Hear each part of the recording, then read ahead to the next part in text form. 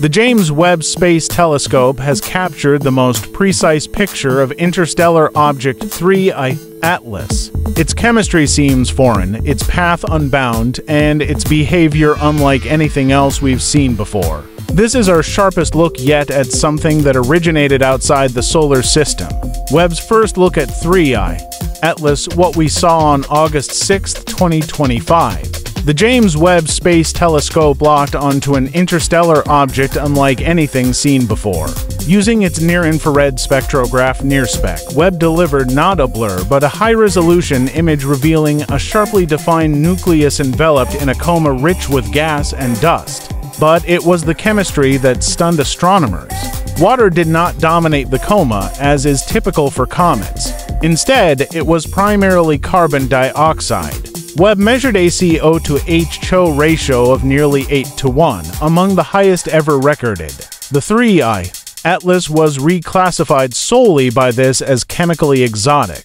Traces of carbon monoxide, carbon monoxide, and carbonyl sulfide OCS were also found. However, water vapor was suppressed, possibly buried beneath dust or shielded within its structure. The directional activity of the emissions made things even stranger. The gas escaped predominantly toward the sun, hinting at focused outgassing rather than random sublimation. All this at a distance of 3.3 astronomical units, still cold by solar standards, showed that 3I Atlas was active well before typical sublimation thresholds. Because of its infrared sensitivity, Webb could distinguish individual emissions, mapping the spatial concentration of CO, HO, and dust. What once would have appeared as a hazy speck now revealed textured, directional plumes, contours, and fine structure. These details help scientists decode both the surface composition and the thermal dynamics of the object. This wasn't just a better view, this was a paradigm shift. Webb transformed a brief interstellar comet into a chemical and structural profile, permanently stored at the top clarity ever achieved for an object not from our system of stars. This clarity also began raising new, deeper questions. What Webb's instruments uncovered wasn't just surprising, it was unheard of.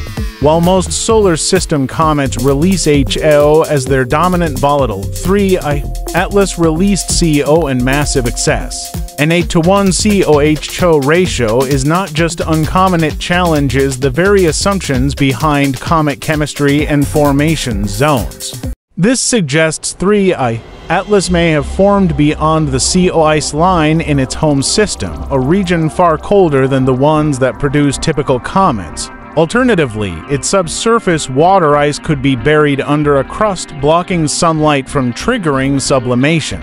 In either case, the structure or environment was alien to our knowledge. Webb also detected minor volatiles like carbon monoxide and carbonyl sulfide, which serve as clues to thermal and radiation history. Even possible isotopic signatures, such as carbon-13 in CO, were tentatively identified. Though interpretation is complicated by dust interference, these spectral fingerprints were recorded at precise infrared wavelengths 4.3 micrometers for CO, 2.7 micrometers for HCHO. The instrument's resolution allowed astronomers to differentiate between overlapping emissions and track outgassing jets in relation to the nucleus solar angle.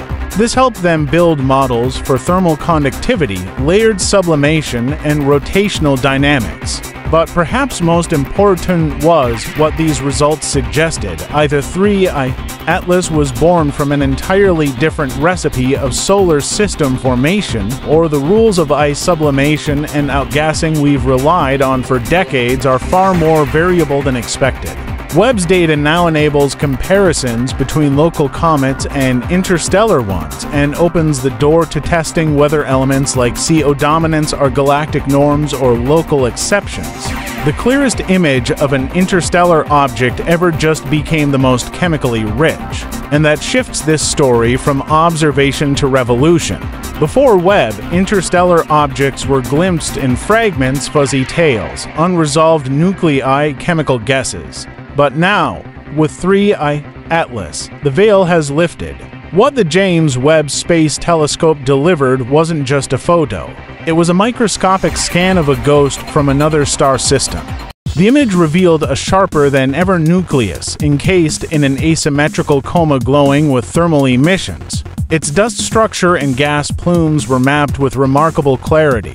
Infrared capabilities made this possible. Contrary to visible light, Webb based telescopes peer into wavelengths that detect heat, molecular vibration, and chemical fingerprints. Sensors uncovered distinct areas of the coma pockets where CO emission peaked, regions with more dust, and shadows where HO trailed behind. All this was observed from over 3.3 astronomical units away. At that distance, it's still cold to frigid for conventional comet models to fully explain such activity. What stunned researchers were the coma's asymmetries. Gas and dust weren't uniformly distributed. The side facing the sun showed bright plumes, while the opposite side remained subdued. These irregularities weren't just aesthetic quirks. They hinted at an internal structure that varied dramatically, perhaps surface vents or deep compositional zoning in the nucleus. The boundary between nucleus and coma was also more defined than expected. Instead of blending gradually, Webb's resolution revealed a clear transition zone, probably shaped by sublimation in a small area or sudden exposure of volatiles. This structure challenged assumptions that coma formation is always gradual and symmetrical. Crucially, the signal-to-noise ratio remained high despite the faintness of the object and its great distance.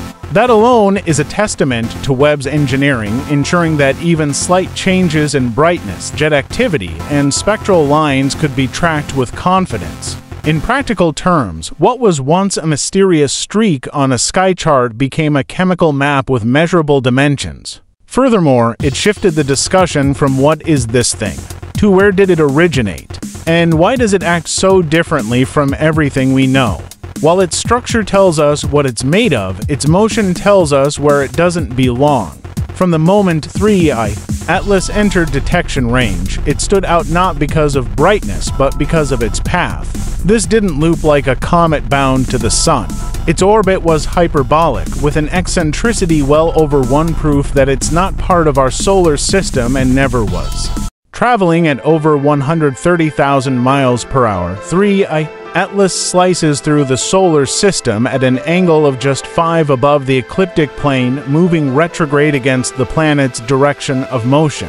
Such trajectories are uncommon. Most interstellar objects arrive at steeper inclinations, entering from above or below. But 3I Atlas approached almost edge-on, as if selecting a route that passes close to multiple planets, and it will.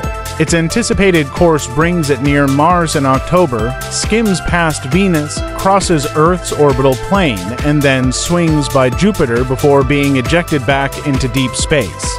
That sequence of near encounters non-impacting but aligned is statistically unlikely for a random object, it's not enough to prove intent, but it raises flags in orbital simulations.